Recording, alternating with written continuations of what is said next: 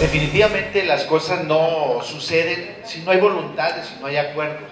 En esto yo creo que es fundamental señalar quienes hemos tenido la capacidad, la visión y la disposición de hacer las cosas. Lo que ha sucedido en el Congreso local, y voy a hablar de la legislatura a la que nosotros pertenecemos, es porque hay capacidad, hay voluntad, hay consenso, hay visión de hacer las cosas.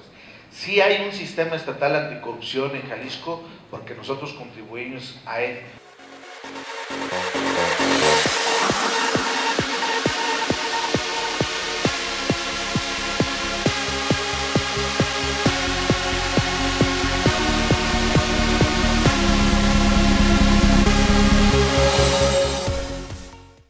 Cuando era presidente de la Sociedad de Alumnos, me encargó la universidad un trabajo técnico para crear la posibilidad y estudiar la posibilidad de que pudiera haber prepa en Sayula, en Tuxpan y Tamazula.